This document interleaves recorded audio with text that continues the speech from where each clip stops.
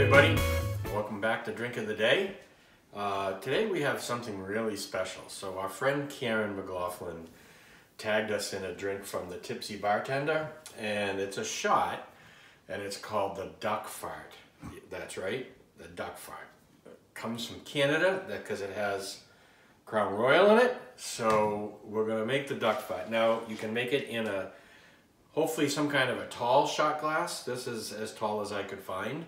You could also make it in a really short lowball glass if you wanted to and just drink it that way. So what the uh, the amounts are all the same. Uh, so you can just, if you want to make more. So first we're going to start with a little bit in the bottom of, um, what's this, Kahlua.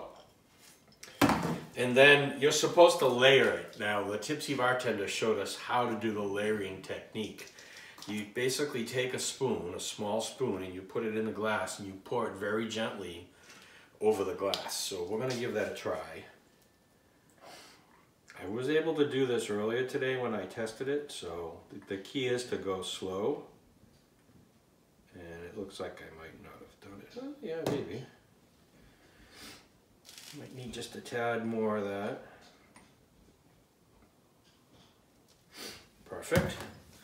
And then the last thing that we're going to do is we're going to put in the Crown Royal the same way with the layering. That goes on the top. And I know you're going to say, ooh, but I'm going to taste the Crown Royal first. By the time it hits uh, the back of your throat, you're tasting the, the Kahlua and the, and the Baileys. So pour some of that in. Put it right on the top. See, I didn't mix it enough, but that's okay. So that's it. You want to get some kind of a layering effect right there where you have the Kahlua on the bottom and then if you let it settle down a little bit, the crown will actually will rise to the bottom. But at this point, it's basically straight down the hatch. So here we go. Cheers, everybody.